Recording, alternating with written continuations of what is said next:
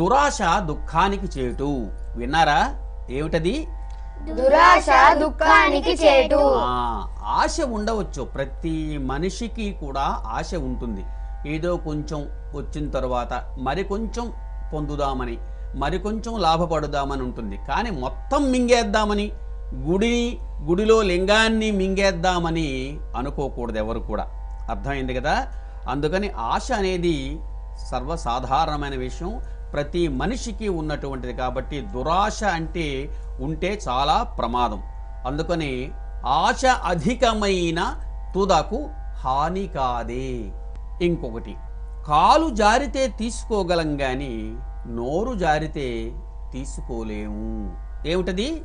కాలు జారితే తీసుకోగలం కానీ గోరు జారితే తీసుకోలేము. కాలు జారి కొంచెం ముందుకు పడింది అనుకోండి వెంటనే లాక్కుంటాం వెనక్కి. నోరు జారింది. నోరు జారడం అంటే అర్థం ఏమిటి? ఇష్టం వచ్చినట్టుగా నోటికి వచ్చినట్టుగా మాట్లాడకూడదు. ఎవరి వారితో ఎవరితో పడితే వారితో ఎలా మాట్లాడాలంటే ఒక పద్ధతిగా మాట్లాడాలి. మనం చదువుకున్నవాడిగా మాట్లాడాలి. సంస్కారవంతుడుగా మాట్లాడాలి. మాట్లాడేటప్పుడు నోరు జాగ్రత్తగా అందుకనే మాటల చేత మన్నన చేసి దేవతలు వరంబులిత్తురు. మాటల చేత మాటలు మనం మంత్రాలతో అభిషేకిస్తాం. ఆ దేవతలందరూ మనకి మంత్రాలు ఇస్తారు ఆ మంత్రాలు మనం మన దాంతో సంప్రీతులు అవుతారు వాళ్ళు.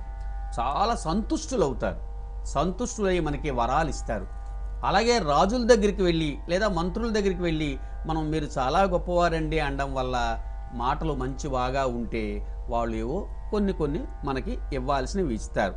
అలాగే అనేక రకాలుగా అన్ని పనులు కూడా మాటల వల్లే మనం సాధ్యం చేసుకుంటాము.